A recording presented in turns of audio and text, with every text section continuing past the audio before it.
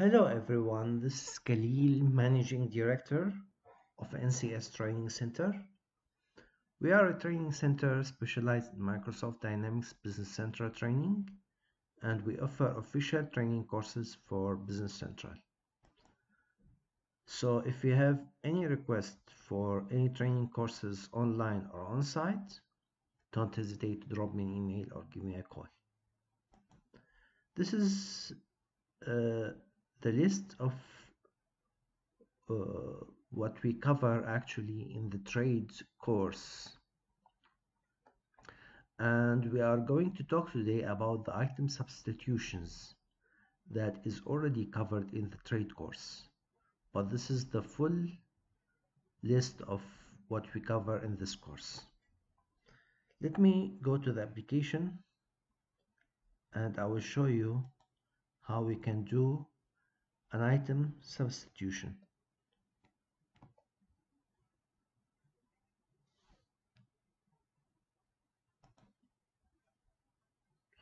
So this is my Business Central solution.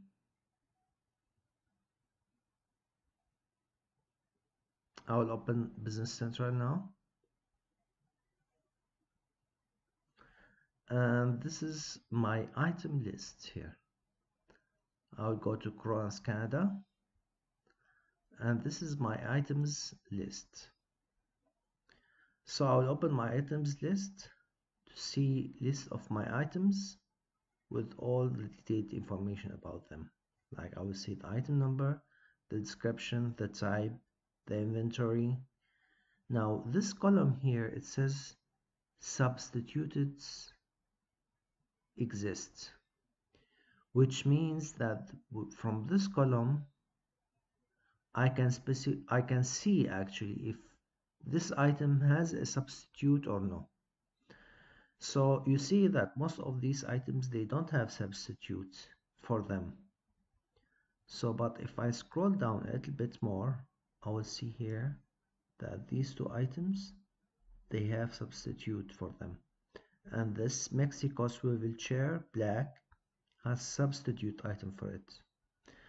Now, the reason that we have substitute, if we run out of stock, for example, for an item, we can use substitute for that item instead. So if I click here on the yes, I'll be able to see the substitute entries for the item that I selected. And I will be able to see that the substitute for this item 1968-S is 1980-S which is the Moscow swivel chair red. Now let's see how we can enter information.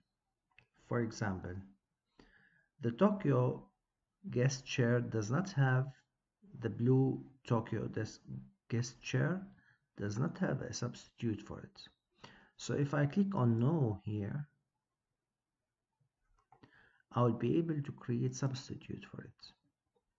For example, I want the substitute for it to be 90 08 dash S. And from here I can make it interchangeable. What does that mean interchangeable? That it works in both direction that means that the substitute for this item as well will be the Tokyo guest chair. Let's make this interchangeable and we can put as well a condition. I can click on condition here and I can put a condition. For example, the condition, it will be information for information only. For example, I will use here, use this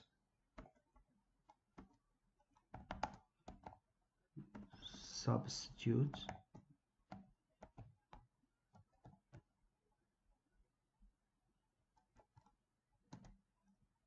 If no stock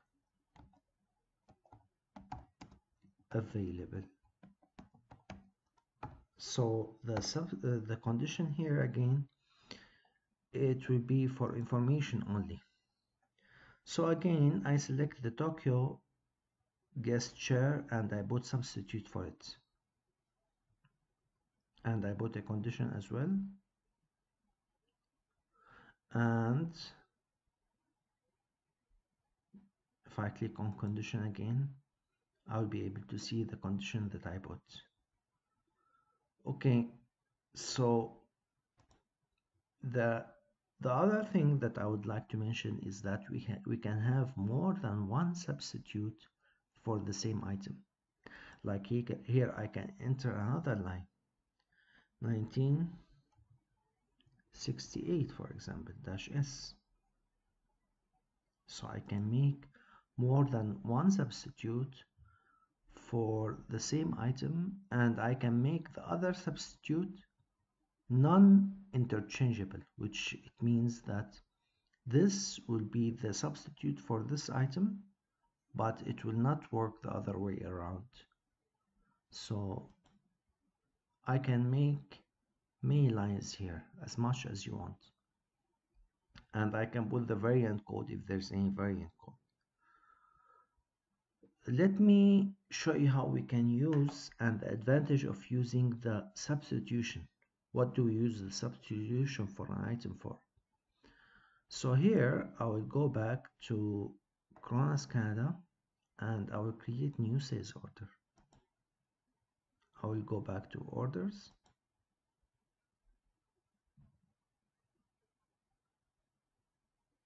And I will create new order.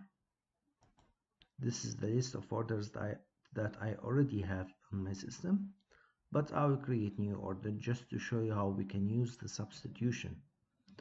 I will put the customer number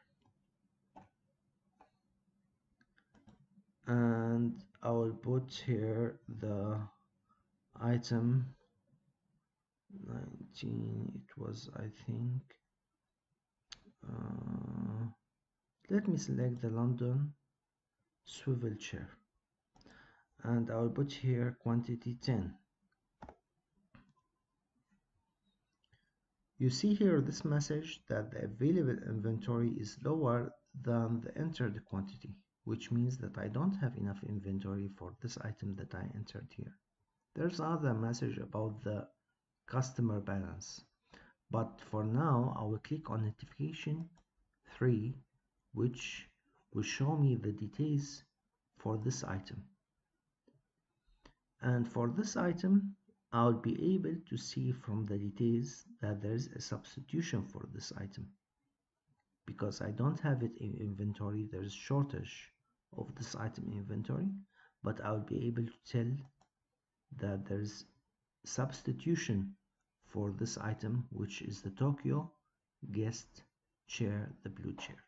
This is number one.